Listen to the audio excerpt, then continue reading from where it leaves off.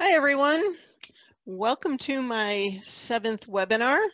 I'm so happy you can all be with us. Um, I see people here from lots of areas of the US as well as some other countries, which is pretty cool. Um, I love seeing where everybody is from. So thank you for sharing your time with us.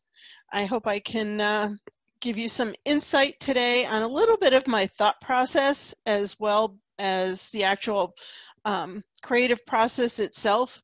Um, the first image I'm going to start with today um, is one that I actually I, I, did a written tutorial in last Thursday's blog, and a few people seem to be having issues with how to bring textures into an image. So in this first one, I'm going to use that uh, yellow rose that I had in that blog image, and I'm going to show you live how I did that image.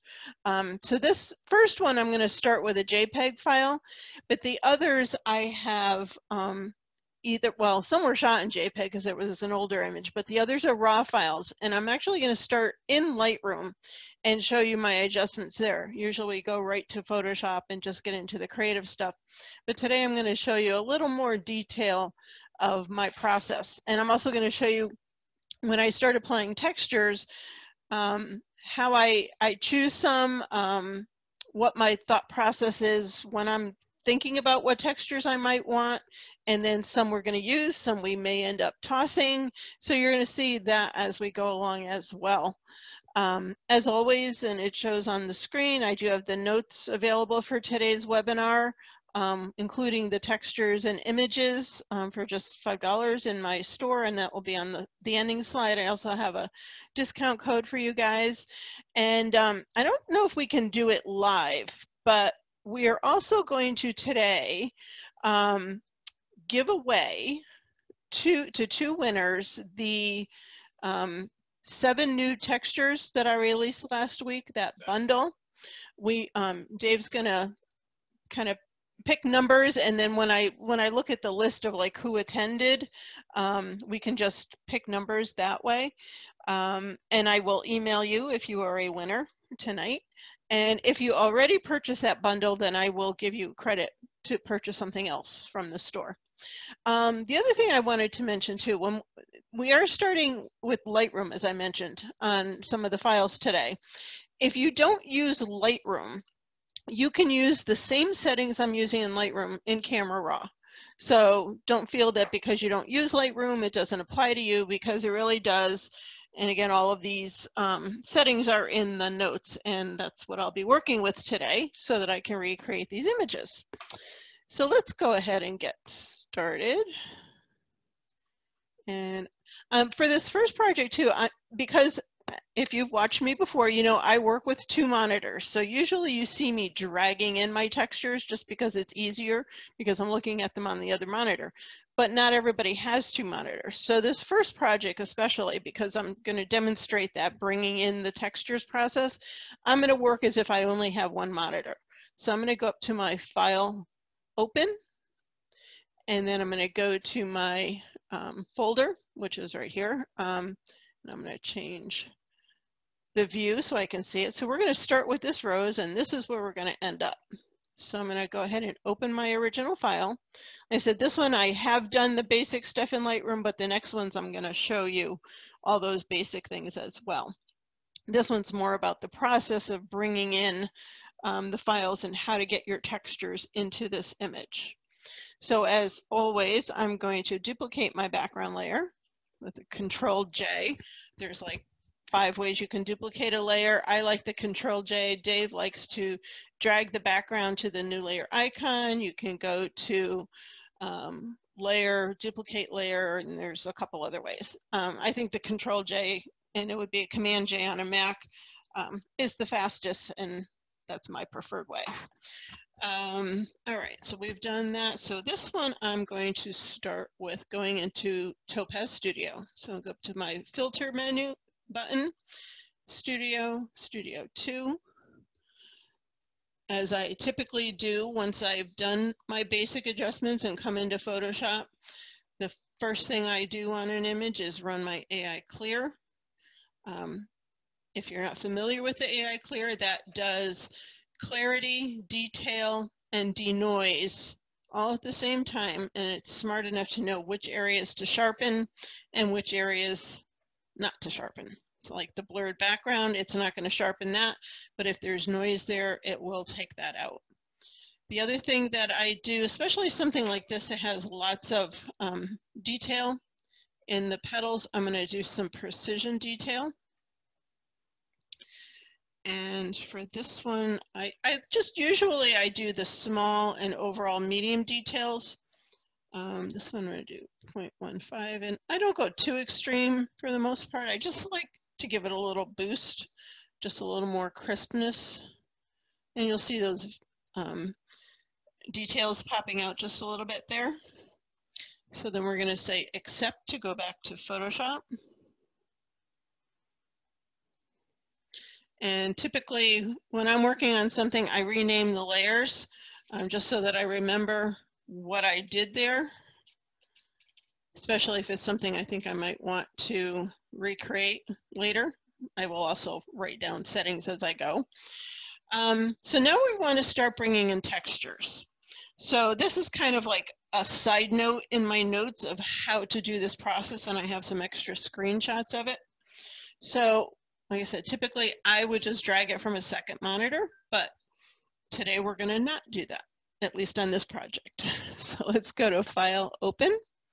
It brings us back to our file. Now, typically you wouldn't have these things all lined up and ready to go unless you've done this project before. So I would go to um, my textures folder and poke around and kind of see what textures I want to try. In this image, I've already chosen them. So we're going to choose this first texture. These are um these three are all from the new watercolor collections. Okay, so here's the point that some people seem to have some issues with. So we have our image, which is a separate file, and then we have our texture, which is a separate file. We need to get our texture file into the main image file. So we're going to use our move tool, which is the top one on our toolbar here on the left. And what I'm going to do, if in this, it's a slightly different process, and I'll talk about that in a second if you're using elements, but everything we're doing today, you can do in elements. It's just some, you know, slightly different places. In Photoshop, you're going to have tabs for each of your images. So this texture one, I'm going to click in the name of on that tab. I'm going to click hold and just pull it down so that I can see that it's undocked from that toolbar. And when I let go of the left mouse button, you will now see your texture and your image behind it. They're still two separate files. We're going to continue to use the move tool. Click anywhere in the texture, click, hold, drag your mouse over the image, you'll see it turn into that other little icon with the plus sign. When I let go of my mouse button, the texture is now over here on top of my image. You can close this texture file because you don't need it right now. Um, and then we're going to, you can see that now your texture is on top of your image. Okay, so now what we need to do, I'm to scroll out, you can see our texture is bigger than our image. So again, we're still using the move tool. If you have the handles already there, you're good to go to resize it. If they're not showing, if you hit Control T for the transform, you can line up the texture and then I'm going to grab the corner. I'm holding my shift key so that I can unconstrain the proportions because I want it to match my image size. Click either the check mark or hit enter to accept that change. And now we have our texture on top of our image. Now you're going to go, okay, well, I can't see my image anymore. We're going to get to that in a second. But if you turn it off, there's our image, there's our texture. Now they are layered on top of each other. Somebody just asked, why not use topaz textures? You absolutely can use topaz textures. I just have so many textures, and I do have a lot I've brought into um, Studio. You'll see that when I do go into the texture menu. I have some of my own in there. Um, However, because I've got literally thousands of textures in here, I tend to go directly to the texture files and kind of poke around. and decide on what textures I want to use. But if you can absolutely use Topaz textures to do the same thing. Okay, and yes, you can upload textures to Studio, and I'll show you how to do that when we get in there later on. Alrighty, so for this particular image, I wanted the texture to only be on the, on the background. I didn't want it to cover the rose. So I've temporarily turned off the visibility of that layer. I'm going to select my rose layer because I'm going to make a selection and create a mask out of the selection. So I'm going to go over here to the quick selection tool. And if you're on the latest version of Photoshop, the 2020, if you right click that, there's a new object selection tool, which is pretty much the same as the select subject under the quick selection. I think it, it might refine it a little bit better. Um, so I'm going to use that object selection tool and I'm going to click on select subject. Now some images it's going to do a better job than other, uh, but it's kind of a good way to get a head start. You can see it didn't grab this leaf or the stem, but we can adjust that. It saved us a little bit of time of manually selecting everything. So I'm going to zoom in so we can see a little bit. And I'm now going to switch back to the quick selection tool. And you'll see um, my cursor is the circle with the plus sign, which means it's going to automatically add to the selection. I don't have to hold any keys down to add in this particular tool. And I'm just going to go in here and select that leaf. I really don't want that dark edge, so I'm going to leave that as is. Um, and you'll see my cursor changing to the hand tool so that I can scroll around. Um, and the way that I do that, if you hold down the space bar, that will change your cursor into the hand tool and then you can drag the image. It's a lot easier than using these sliders because then you can go any direction that you want. Um, that one looks pretty good. We need to select, make my brush a little smaller. And we're going to select some of this edge. What I'm trying to do with this one is I didn't want any really like kind of dark edges around the outside of my selection and I'm going to show you how we are going to modify that in a second but I want to make sure I get this particular leaf a little bit and then I need to get the stem actually I want to get rid of this dark spot so to change my cursor to the minus sign I'm holding down the alt key on a PC that'd be the option key on a Mac so I can take away from that selection and then I'm going to scroll back so I can see the whole stem. And I'm just going to try and do this in one shot. I'm going to make my brush about the size of the stem. And let's see if it works. And I'm just dragging, I'm holding down the left mouse button and just dragging my cursor down. And that did a pretty good job. And we can, again, you can always tweak it a little by holding down the Alt key and then took away a little too much. So, you know, you can finesse it. Um, but that looks pretty good for what we need right now. So there's two ways that I'm going to modify this selection a little bit. The first thing I want to do is so that I don't get any of those kind of dark edges, I'm going to make this selection slightly smaller so it's going to contract and not catch those dark edges on the you know edge of the petals and things. We're going to do that by going to select, modify, contract. And I'm going to do just two pixels. And I'm going to say OK. And then I'm going to inverse this selection so that the background is selected. So we're going to go to select, inverse. So now you'll see the marching ants are around the outside. So our background is actually selected instead of the rose. I'm going to go to select, modify, and feather. And that's going to soften my selection slightly because I want it to blend better with my texture. And I'm just going to do like three pixels. Three or four would be good. And say OK. Now the reason I wanted the background selected is we're going to use this selection to create our mask. And it needs to be opposite of what you think it needs to be. So I'm going to turn on our texture layer and I'm going to highlight it. So that is our layer. Our selection you can see is still, the marching ants are still working. When I click on the add a mask icon down here at the bottom of my layers panel, and when I'm on that texture layer, it created the mask of the flower, which is what we wanted. So now the texture is only covering the background, not any of our flower. And even from here, um, you can use you know black and white brushes. You can grab a brush. It's on a soft round brush. Yep. Um, and if you wanted to, whoops, you have to be on the mask and select black. Yes, we are on black.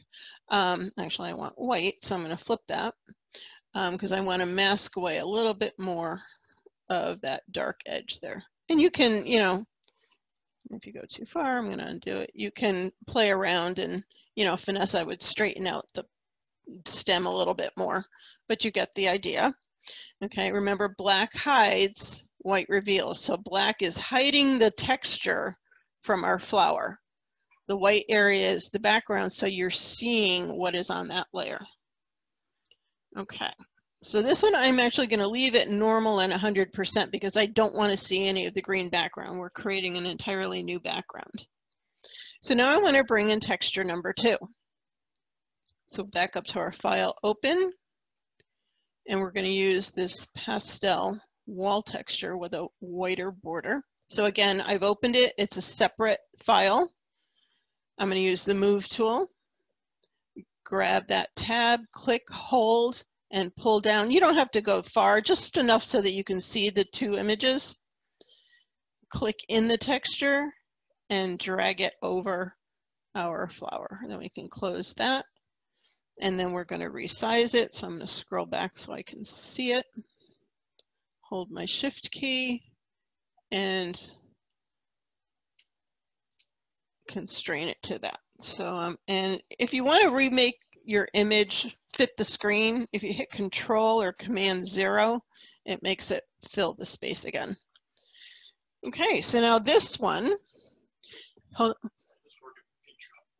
will this work in Paint Shop Pro? I would think so, but I don't use Paint Shop, Paint Shop Pro, so I'm, I couldn't tell you 100%. Typically, any of these programs that do layers are pretty similar, so I would expect the masking and things to be pretty similar. Um, you may have to check their manual. You know, if so, you can try it, and if it doesn't work, then you know you got to tweak it a little bit. Um, so now I want to use the same mask on this layer. So instead of recreating it, there's a quick shortcut we can do. I'm going to copy this mask to this layer. And the fastest way to do it, if I hold down my Alt key, which would be Option on a Mac. First, let me click on that mask, okay? I'm to hold my Alt key, click and drag that mask, and now it's masked that layer. It saves you a whole lot of time, especially if you've got a very complicated mask. Now this layer, I'm going to click back on that layer to highlight it. This one, I'm going to change the blending mode to soft light and lower the opacity to about 58%. I always say about because it doesn't have to be exact. All right, so now you can see some of this texture coming through that one. And as I'm working with textures and deciding what I like and don't like, I'm quite often turning on and off layers to see what looks good and if they work together. So that's a part of it. And you're going to see me doing a lot of that as we go on tonight. Now we're going to add one more texture. File open. And we're, I wanted to darken the edges. I didn't want just a typical vignette though. And this is one of, like I said, one of my new watercolor textures. And I thought this would look pretty cool with the flower. So again, using the move tool, grab that tab and pull down, click in the texture and drag it over. Close the texture file we can line that up, scroll back so I can see the edge. And there we go. And control zero will refill the screen. And this one, let me change my page here. This one I am going to use a blending mode of multiply. And again, when I'm trying these, I typically are running through the list to see what's going to look good. Um, multiply is going to darken the texture. And then I'm going to bring back the opacity to about 80%. And on this one, I decided it, it didn't change the color of the rose that much. If I turn it on and off, the rose is pretty much the same, just a hint darker, but I kind of like that, so I did not mask that one off of that flower. And that's the finished image. So let's see if we have any questions. Have you tried making the selection with Topaz Remask? You can use Topaz Remask. I usually use Remask when I have a very complicated selection, um, like something with hair um, or edges of trees or things like that that are very difficult to select with the typical tools in Photoshop. But for something like this that has pretty clean edges that was easy to separate from the background, I tend to do it here because it's just quicker than going to another program. But again, my method is a suggestion. It's definitely not the only way to do something. So if you're more comfortable using the other programs, that's perfectly fine as well. So let me open the Q&A. I thought, I, oh, that's the top. Okay. Um, let's see. If you use one of your colored masks on a different picture, is it possible to change the color of the mask to, I think you're talking about the texture itself um, to coordinate with the colors of the picture. Absolutely. You can change the color of any texture um, to pretty much anything you like. Um, there's several ways to do that. Um, hold on one second. Let me, I'm going to just open up a texture again. So this was the first one we used one way you could change colors in a texture is just with a hue and saturation adjustment. Sometimes that works well, sometimes it doesn't depending on the um, particular texture, but you can see you can start changing colors. Um, the other thing you can do is to, if you have the old Topaz Restyle, um, which is one of their early products, you can use that to change the color palette of an image. I use that a lot when I'm creating textures. Um, I also use Topaz Impression um, sometimes on my textures to create new, new textures. So there's several ways that you can do that. So yes, you can change the color of textures. You can also make them black and white. Sometimes you just want the effect of the texture without the color. Um, and I think I use one of those in one of the other projects tonight. Um, so you'll see that as well. All right, let's see, any other questions? Um, do you ever use place embed or place linked images? Yes, you can use the place command rather than just dragging in the texture. Um, I don't typically do that, but absolutely, that's just, it's another way. As we know, there's always multiple ways of doing things in Photoshop, so you absolutely can do that. Uh, somebody asked if I use an Intuos Pro tablet. I do not. Um, I I have a, a Wacom tablet, um, and I really don't use it as much as I probably should. Um, so let's see, can you add textures to Topaz as a RAW, or they need to be a JPEG? They need to be JPEGs. You cannot bring in TIFFs or RAW files. Um, and the reason is you don't want a layered file to be brought in. So it needs to be a JPEG and a flattened file. So that's why even when you buy textures or get them online, they're 99% of the time they're JPEGs. Um, I haven't used, I have Topaz, but I haven't used it yet because I'm scared. Don't be scared. You can't break it. okay, you're going to see me use a few things um, tonight, and um, and you know, send me an email and I'll, and we can talk some more about that. Um, what would you do if you don't like the dark space in the top left? You could clone that. Um, I, if you, I did think about that actually when I was doing it. Let's just close that. You could use the, sometimes the healing brush will work. Um, we can try that. It may or may not yeah, I don't really like that. It also, when you do healing and cloning, make sure that your texture or whatever you're doing is not on a different blending mode other than normal. So you want to set it back to normal and 100% and do that and then change it back. I find it works better that way. But you could also try the clone tool and you would be able to, you know, select a portion and you could do it that way. So you could definitely, you know, get rid of that. Yes, dear? Yes, and um, they wanted to remind you if you do want to get the notes because they do have all of these steps and then you can refer back to it. Um, they are just $5 and available in my store and I'll show the link again at the end. Um, so I am going to move on because we've got a lot to cover yet. And, and to some of the questions, if I can't get them tonight, in Thursday's um, blog, I will answer some more because there's only so many I can get to and, and keep us within our time frame. Alrighty, let's close this guy. No.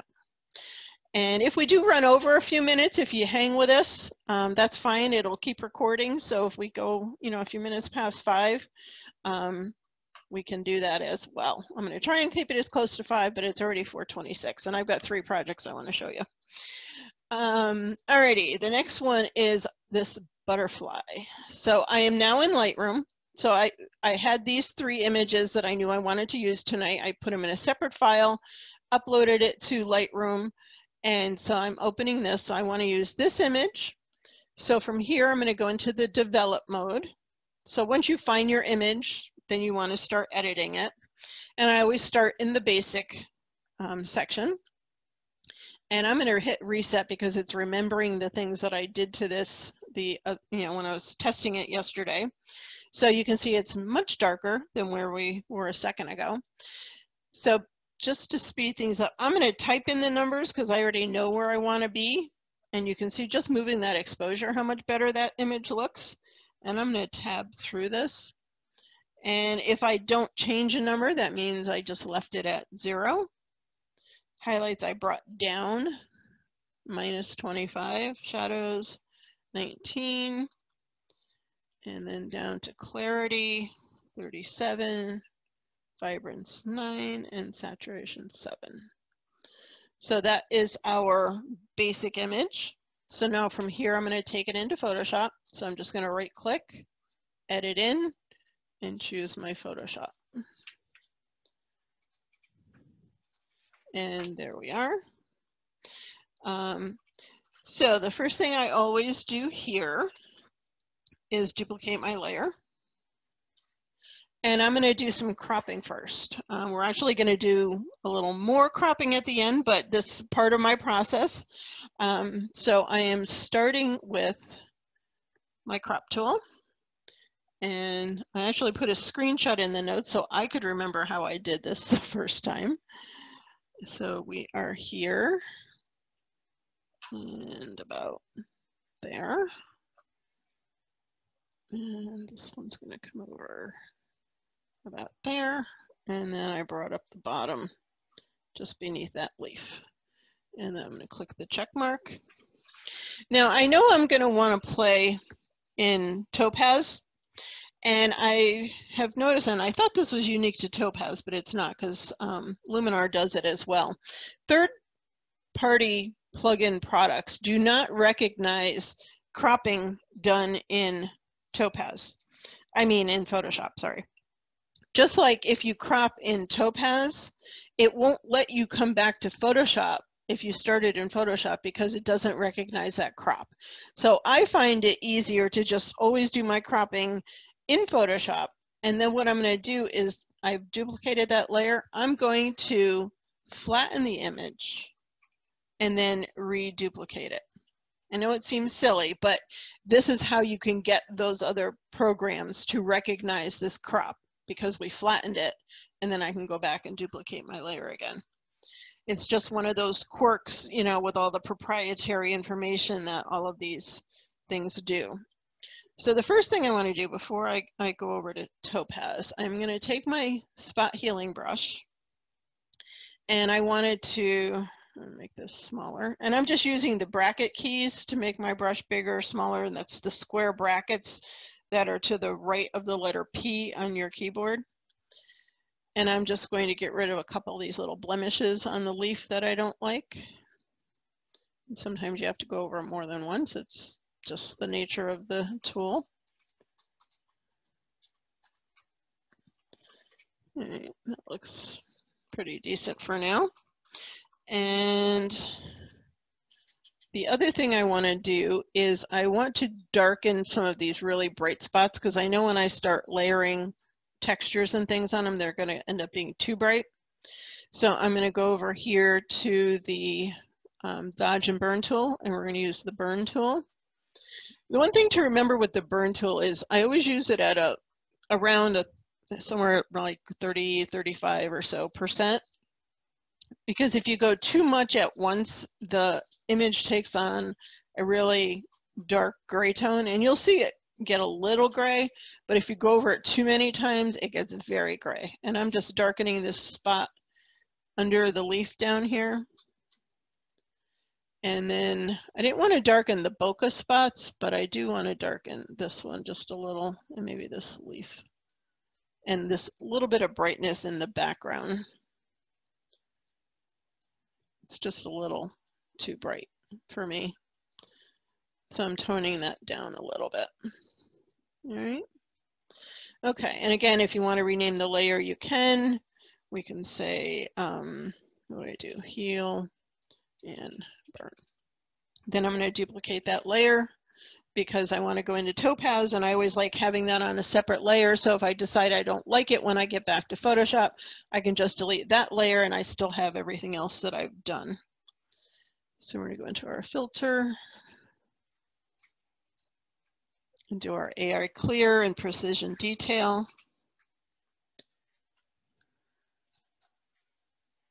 In AI clear, probably 99% of the time I use the default settings um, unless I really want to enhance some sharpness or if it's a, a, noisy image. And if it's really noisy, then I'll use Denoise AI.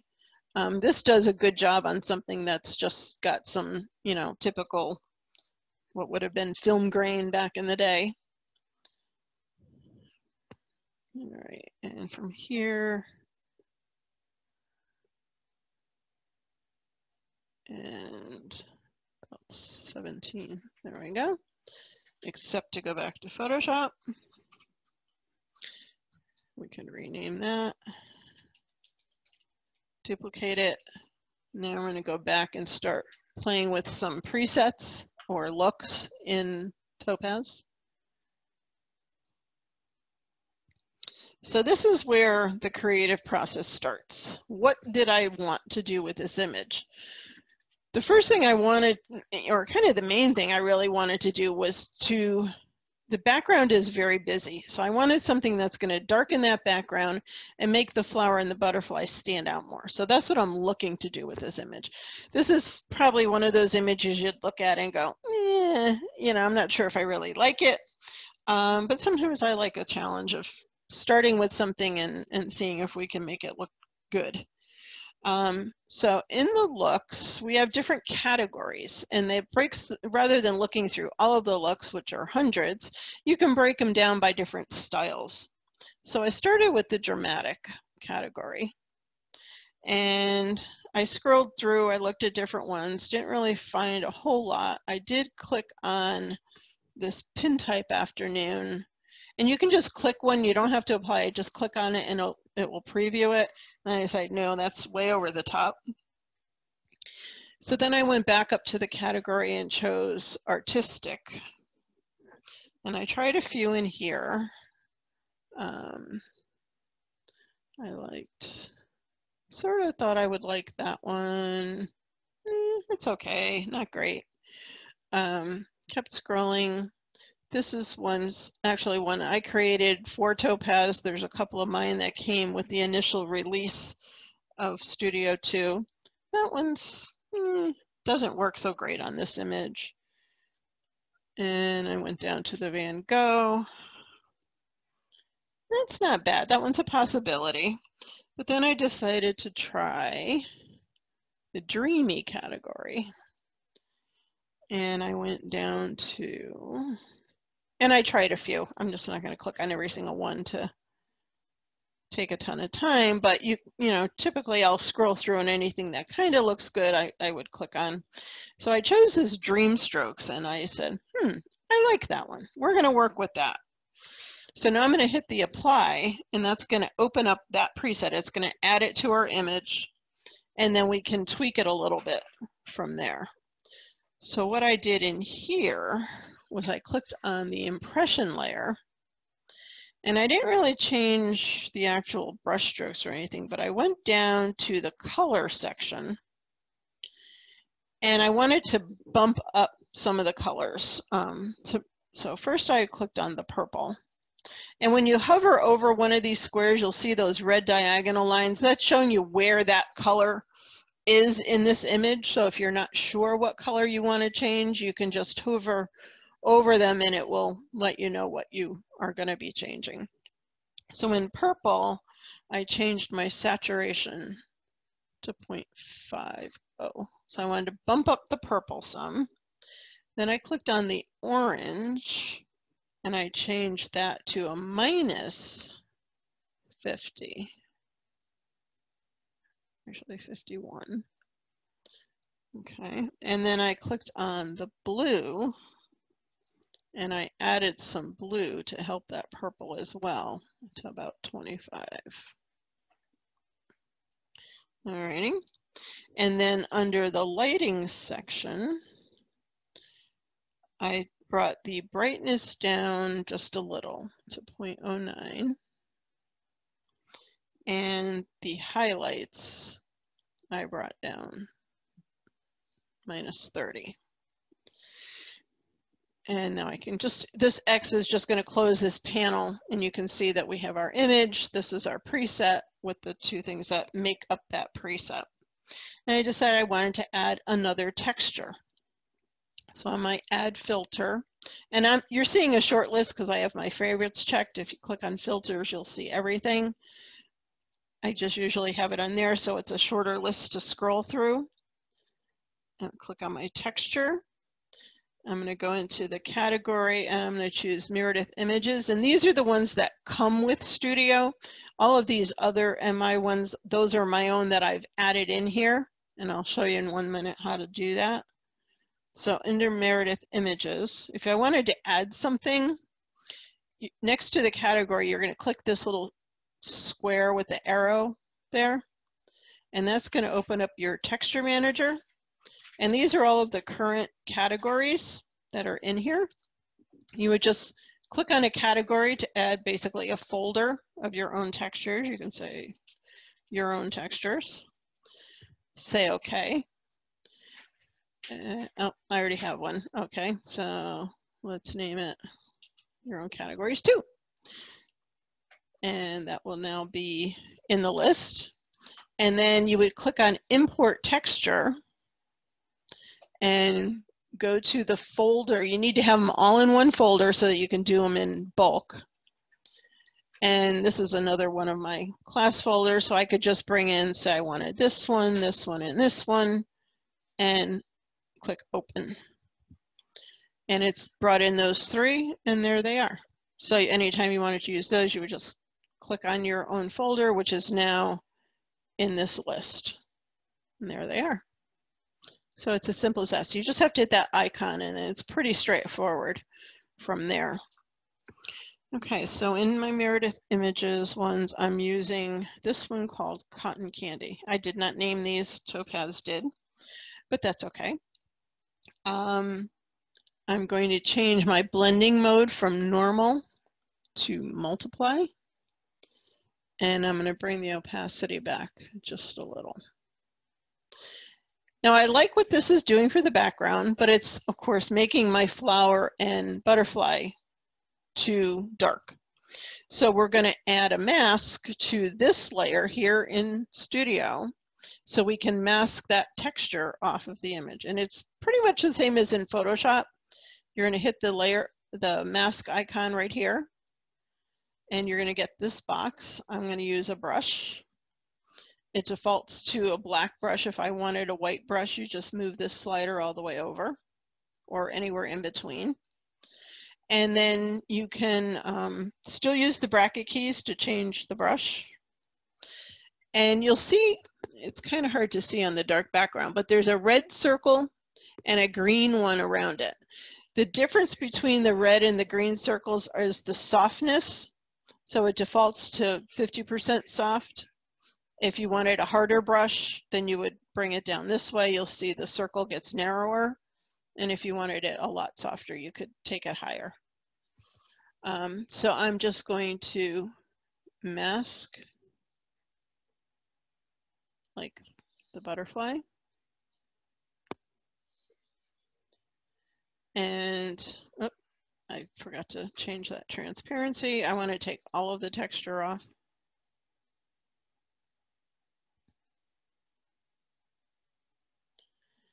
Up there. And then for the flowers, I'm just kind of doing a very loose uh, mask here. I'm not getting too particular or close to the edges. I just want to brighten up these flowers a little bit.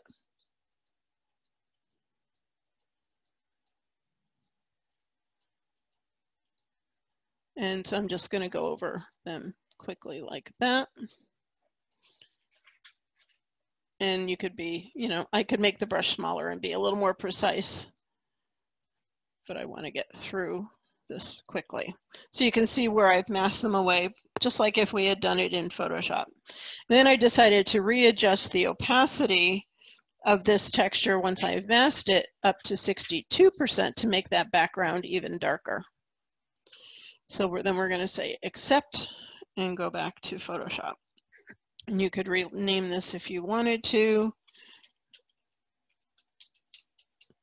And duplicate it. And I decided to go back to that burn tool again and to tone down these particular leaves just a little bit more because they were still a little too bright and pulling my eye away from my subject.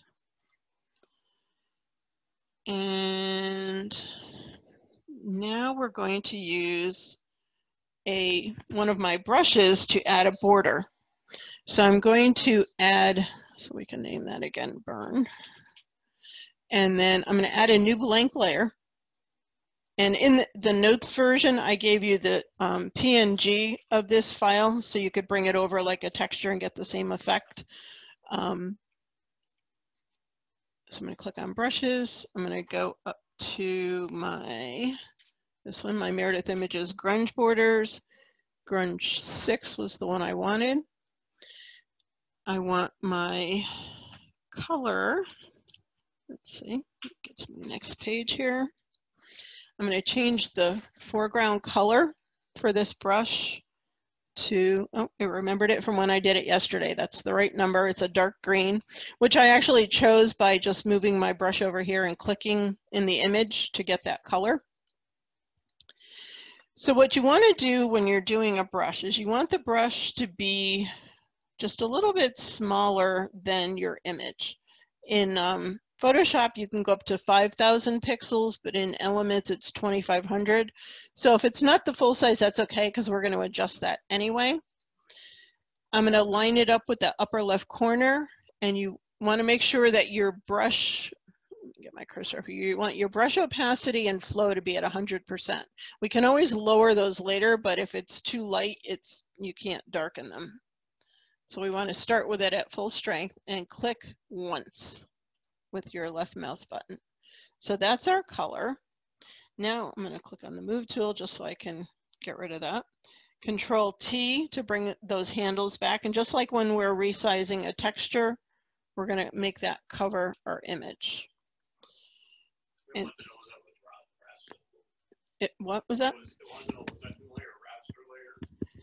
Um, is the new layer a raster layer? Yeah, it's just a regular, um, it's not a, a anything special, just click on the new layer icon. It's not a smart layer or anything. It doesn't need to be. It does have pixels. Um, so I want to change, let's see, where am I at? I want to change this to, hmm, where's my, trying to find my spot in my notes. Ah, there it is. Blending mode, I wanted to try hard light. And then I brought the opacity to 84%. Eh, something like that. 82 will do. And then I didn't like the texture over the butterfly, so we're gonna add a layer mask and go back to our brush, go back to the soft round brush. Whoops, didn't change. There we go. Now it's really big because of the other brush that we had made. And I want to reset my foreground colors to black and white and make my black foreground color. And you would just do the same thing.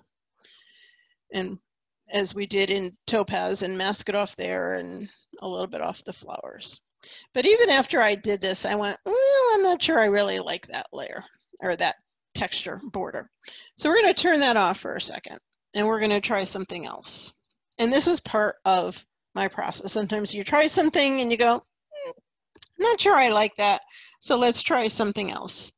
Um, so I'm going to go to the second burn layer and I'm going to duplicate that because I'm going to go into Studio.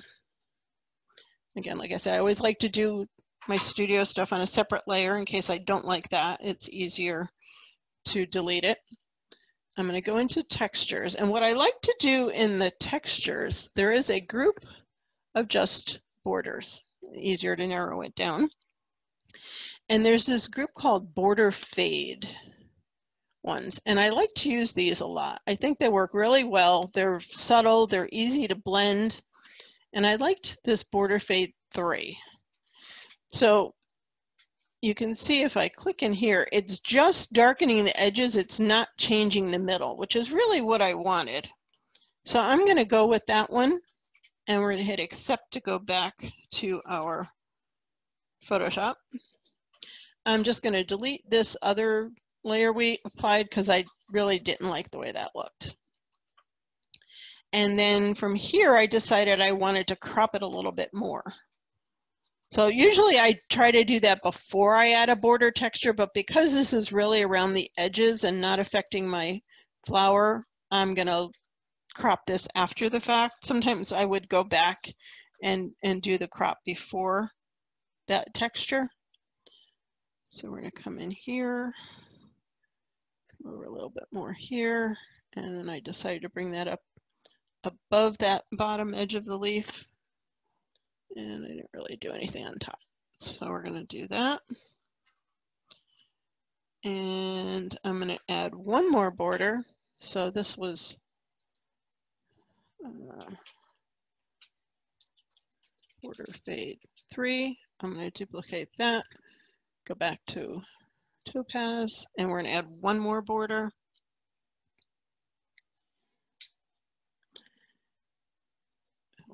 Texture. Go back to the borders and border fade nine. And I just emphasized the darkness on the edges of that image just a little bit. And there we are with our finished image. So you can see from whence we came.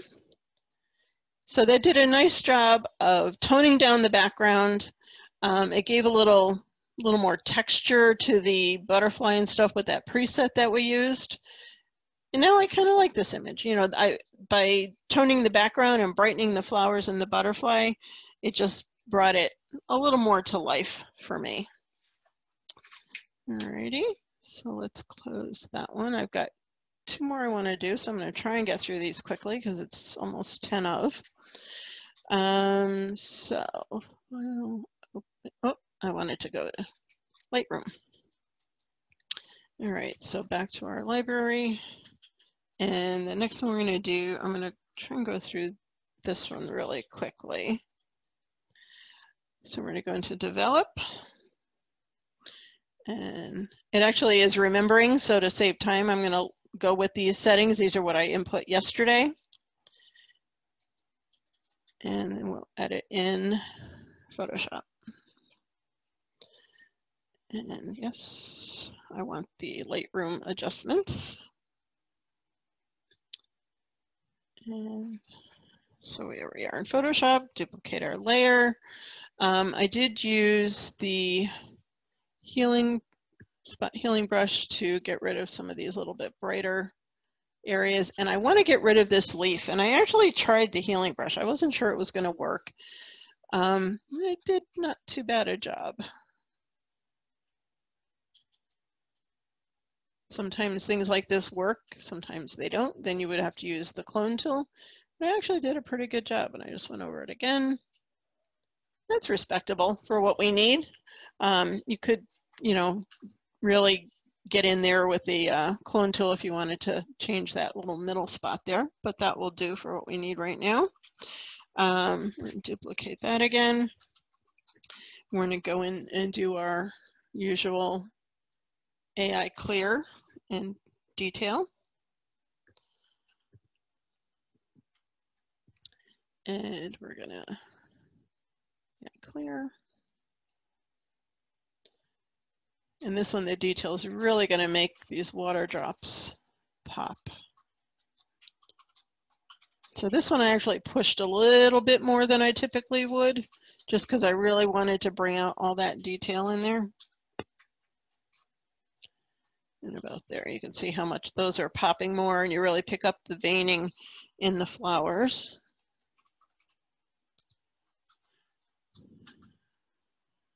And so what I decided, you can see here's our layer, and this is again why I do things on a separate layer. So there's the before the AI um, clear and detail and the after. Now I love what it's done for the flower, but I don't like what it's done for the background. So we're gonna add a layer mask. And I'm going to use the selection tool again and to make a really quick selection of the background because it's such a different color than our flower is going to be really easy. And this is slightly different than the way we did it before. I've actually made the selection of the background and that's the part I want to fill with black. So from here, I'm just going to hit Alt and backspace. It'd be Option on a Mac and it's filled that selection with black. So it just saved us, it was the same thing if we took a brush with black and painted it all, but by using the selection tool, it made it a much quicker process. Control D or Command D to deselect. So that made it a much quicker process. Now I want to go back to Photoshop, uh, sorry, to Topaz. Um, but if I did that now, I mean, I'm not going to pick up the proper parts of the image. Photoshop, again, it just like you can't read a, a crop, it's not going to properly read the mask. I need that um, part of the image from the layer beneath it to be part of this layer. So I'm going to, rather than flatten it, the option is to create a merged layer that combines all of these but doesn't flatten these layers. And the way we do that is Control Alt Shift, and the letter E. On a Mac, that would be Command, Option, Shift, and E. Um, and I always name that merge just so I know why that layer is there. And again, I'm going to duplicate that layer so that this is the layer I do my topaz work on. Let's go back into Studio. And for this one, we're going to go to add a look. And I tried quite a bit of different things. I'm going to go in the artistic category again. Um, I did try them all, and I actually ended up with on my MI Impressionist one.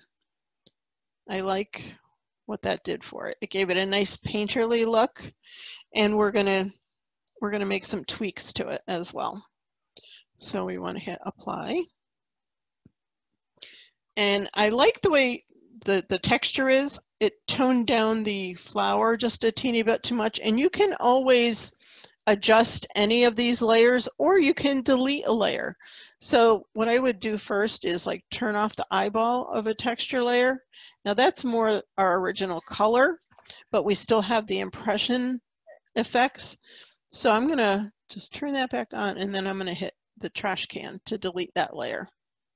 So we have the look that I want, but we have the brightness back that I wanted, except to go back to our um, Photoshop.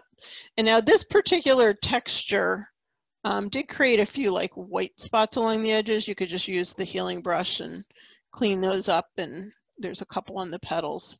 So you would just go in and do that. Some effects do that because they are brush strokes, so it may have some white like of the actual canvas that, you know, if you were painting and you would just need to tweak those. And then you could name that with the MI impressionist is what we did there. We'll duplicate that. I'm very big at everything on separate layers, as you can tell. Um, and that's my personal preference. Some people don't care and they do it all on one layer, and that's fine too, whatever works for you. Um, hang on one sec, we have some questions. Why are we not seeing the background all black around the rose? Because I didn't make the background black, I just masked that effect from the background. So if we undo a couple of these layers here. So when I applied the sharpening, I'm going to disable that mask. You can see how the, the leaves got very sharp and bright and I didn't want to brighten that background. So by masking the effect that we applied, the AI clear and the detail, it let our original background show through, just like if we created any other mask. So you can see now it's darker again. So that's our original background that we had in the original photo. Um, and then, so our sharpening only got applied in here. Okay, good question. All right, so we're back to our copy layer and actually didn't need to copy that one, but that's okay because I'm going to bring in a texture. Um, and what I wanted to do was just brighten that flower even just a touch more. So I, I actually could be done at that point. When I first did this, I'm like, yeah, I really like that. I'm like, but maybe I want that flower just a teensy bit brighter the way that it was before. So I decided to use a texture to do that. And the one I chose, this is um, a graduated color one that I created. I wanted the dark part at the top though. So I'm gonna go in first and edit um, I gotta select it first. Actually, I'm gonna drag it in first because that's what I did before. So we're going to, again, separate it, drag it in. We can close that. And then there's two ways you can rotate it. You can either just put your cursor up here to get the curved arrow and drag it and swing it around. Sometimes it's a pain to line up, although if you hold the shift key, it usually will get it into place, or you can go to edit, transform, and then rotate it there. So either way, whatever you prefer is fine. And then again, I'm gonna resize it. Hit the check mark. And then we're gonna change this to soft light and bring it back a little bit, about 82%. And you can see, again, turning them on and off will give you the real idea. So that's without it, and that's with it. Just brought back a little more of that yellow orange color. Um, and then I also didn't want this texture on the background. So the way we did before, I'm going to click on this mask because it's masking a background, which is what I want to do. I'm holding down the Alt key, click, and drag that up there because I don't need the background to be brighter. I want to keep that dark, but now you can see we've just affected our flower. And then I decided to lower the opacity even a little bit more to about 72. So I got before and after. And we are done with that one. And we are just about at five o'clock, but if you've got like 10 minutes, hang with me. I'm gonna do one more project and it's something other than a flower for those of you who like to shoot some other things. Um, so for this one, let's go back to our Lightroom in our library. And click here, and we're gonna do some grungy stuff. Um, this is the steel stacks, um, the old Bethlehem steel plant in Bethlehem, Pennsylvania. If you're ever in the area, it's definitely worth the trip. They have a, a beautiful display um, and a, whoops, clicked on a uh, preset. Um, I have all my settings still in here, so I'm gonna go ahead and send this over to Photoshop while I'm talking. Um, there's a walkway all along the front of the stacks so that you can get up close um, and really see it. And they've got some different panels with displays and the history. And there's a museum about a block and a half away, the um, National Museum of Industrial History. It's definitely worth a stop. I did a workshop there a couple years ago um, around Christmas time, which was pretty cool. Obviously, Bethlehem, Pennsylvania, and Christmas. Very crowded, but it was fun. Um, alrighty, so we're here, Control J. Um, I started to, to use the healing brush to heal some of these center spots, and then I'm like, well, I'm going to change that sky. So I'm not going to worry about those because we're going to use Luminar in a second, and we're going to change this sky.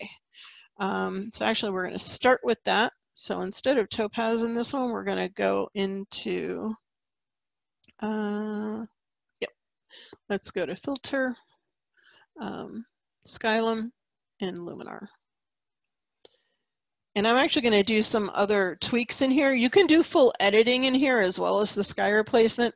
There is sky replacement, if you not, if you didn't see the last couple webinars, is just blows your mind. It, you, it's amazingly fast. It's so accurate. It even outdoes remask, uh, but it only works for sky. So if you're masking something other than a sky, um, it won't work, but it's just totally amazing. Alrighty, so we have four tabs here. These are Essentials, Creative, Portrait, and Pro. We're going to start in the Essentials tab, which is like your basic settings. We're going to go under AI Enhance. I changed AI Accent to 16. And the best way to learn these, they have a ton of tutorials on their website for this product. And um, I'm go, sorry, I'm trying to read and talk at the same time. Um, they have really great tutorials on learning this product, but I was, my way of learning things is usually jump in, move the sliders and see what they do. And then I'll go back and watch some of the, the uh, webinars, but that's just me. Um, and then under details enhancer, which is like the detail that I've been doing in studio. It's kind of the same thing. I'm going to do the small and the medium. And then we're going to go to the creative tab, which is where we do our sky replacement, AI sky replacement. You can bring your own skies in here as well under sky selection. If you go all the way to the bottom, you can load your custom sky images. And that's why there are so many in here because I did bring in um, a bunch of my own. Um, but there are quite a few in here and they do have some others for sale as well. So I'm going to use Puffy Clouds 2. And then there are some things, you can click advanced settings and you'll get more sliders. I like th the way this looked. Um, you can adjust the position of the horizon and I'm going to bring this down so I can see the top of the clouds. Um, so I came down quite a bit on this one. And you'll see it moving. And I ended up there. And then under the sky exposure, I brought that up a little to match. It does a great job of matching, especially when you're doing sunset ones, the skies, and then it tones the image to match. So it's not just replacing a sky, it really does a great job um, of matching the colors. If you watch some of the last couple webinars, I did like a sunset one that was amazing with a sailboat. And then you can also change colors more if you scroll down under color styles and LUT stands for lookup tables. They're basically like looks. Um, and then there's there's a ton in here and I actually liked this one called Long Beach and it just changed it just a little bit. Okay, then we're going to hit apply and that will take it back to Photoshop. Did you have a question, Bib? We have winners. Oh, he, all righty. He did a random gen number generator and we have three? Two. Two? Yeah. These two? Cole, So Alan Cole and Gloria Johnston are our winners. So I will email you both and um, And you can let me know if you have the bundle already. If not, I will send you the links to it. And if you do, then we will have you pick something else from the store. Congratulations and thank you for being on the webinar. So we are back to Photoshop. I'm going to duplicate, uh, let's see, nope, let's see, where am I at? Create tab. Okay, so when I got to here, if I zoomed in, the sky looked a little bit grainy to me. Uh, let's scroll down. So I decided to do my AI clear. So I am going to duplicate this. And this is where AI clear does a great job because it's smart enough to know to smooth that out, but not smooth that out and actually bring out more of the texture in those um, rusting stacks there. And then we're going to add a few textures to this image and you're going to see again some that I I liked and then some I decided eh. so you're going to see how I turn them on and off. So we're almost there. Alrighty, accept.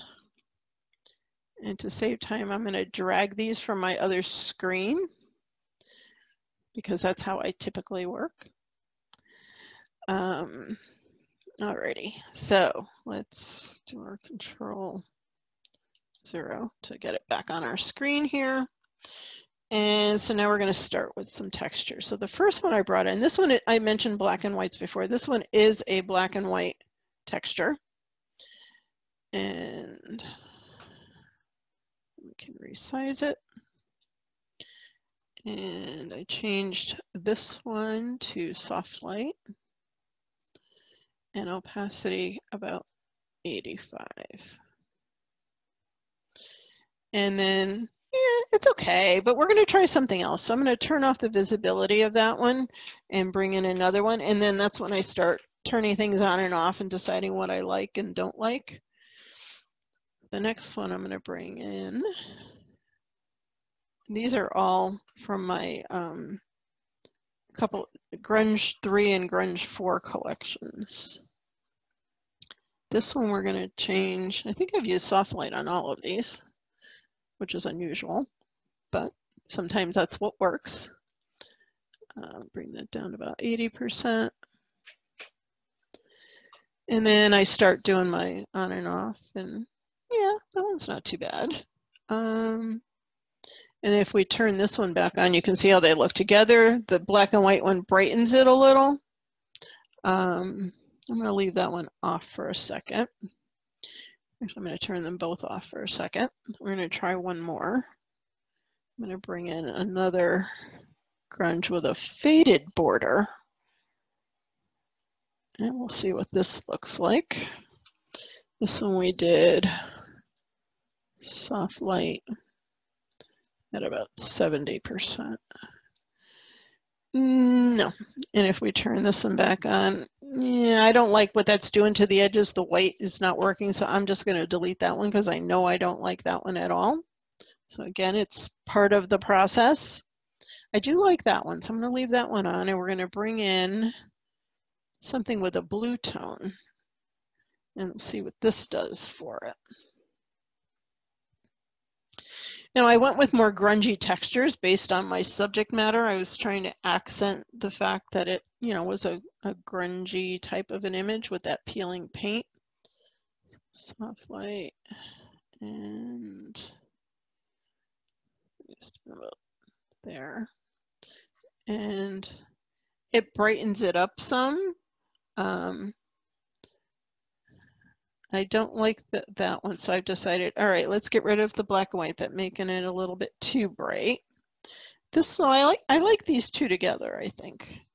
Um, I think I might bring down the opacity of this blue one though, just a little bit. And then we're gonna try one more. And this one is a tan color. And what I, the tans and kind of like warm browns, it's going to warm up this image because right now it's a very cool color. So we're going to see how that works. Sometimes it looks good, sometimes it doesn't. Again, we're going to do soft light and come back to about there.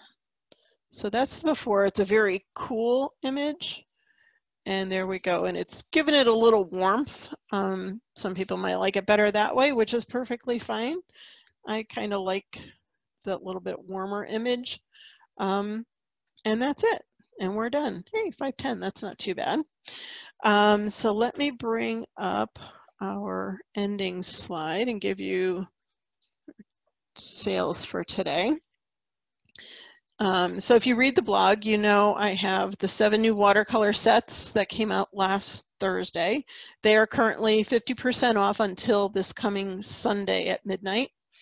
And if you want to get any of the other texture sets or ebooks in the store, you can use the code WEB25 at checkout and save 25%. And again, the notes for today's session are just $5, and that gives you the textures that you've seen me use, as well as the images and a PDF of the notes.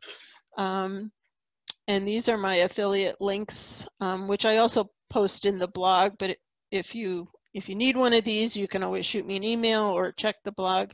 You can save 15% with my link and code on Topaz. Um, you can save $10 on Luminar, and they're also coming out with a new product later this year I've talked about in the blog, which is just amazing. I can't wait to get a copy to try it out. It's not even ready for the affiliates to try yet. And my Nik affiliate link. I hope you guys enjoyed this tonight. It's a little bit different. Um, let's see if there's any other quick questions um, that I can get to. I think we've covered most of it. Um, again, I read through all of the questions afterwards um, because they will print out and save to my computer and I will do some more Q&A in Thursday's blog. Thanks everybody. Have a wonderful evening and we'll talk to you soon.